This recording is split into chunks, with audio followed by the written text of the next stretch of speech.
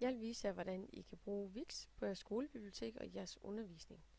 Wix er et gratis værktøj, der ligger online, det vil sige, at alt hvad I laver, det bliver oppe i skyen. Der er ikke noget, der skal gemmes på jeres computer, og der er ikke noget, der skal installeres.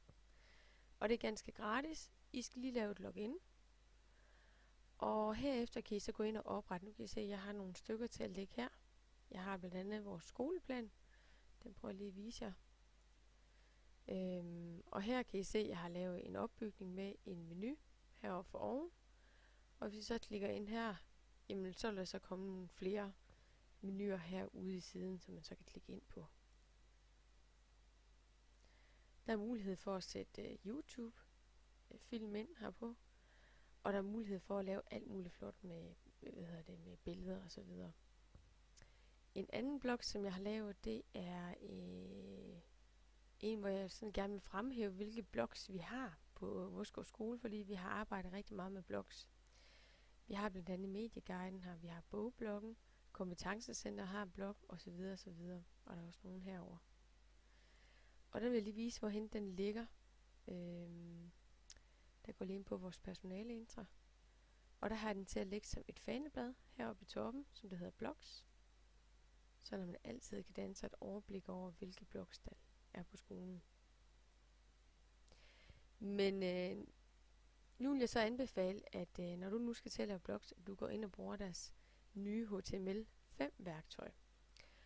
Og øh, der er en lang forklaring på det. Jeg vil bare sige det korte, det er, at øh, det gør, at det bliver meget...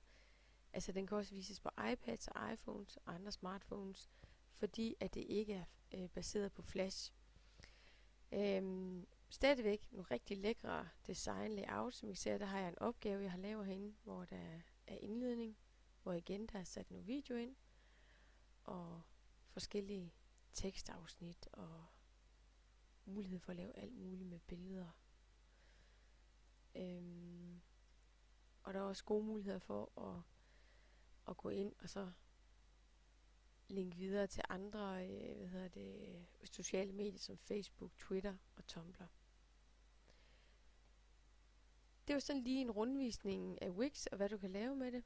Så øh, lav den bare til sådan en enkelt side, hvor man måske linker ud til, til fem andre sider. Man, man vil måske gerne fremhæve de abonnementer, som man har på en mere visuel måde.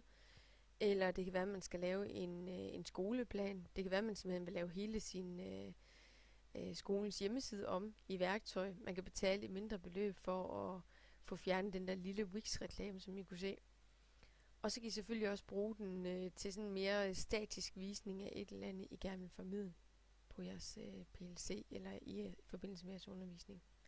Så øh, god fornøjelse, og I kan finde rigtig meget videohjælp, når I sidder og arbejder i Wixen, så dukker der videoer op rundt omkring, som I simpelthen kan klikke på, og så lige se, hvordan er lige at gøre det her. Så øh, bare kom i gang.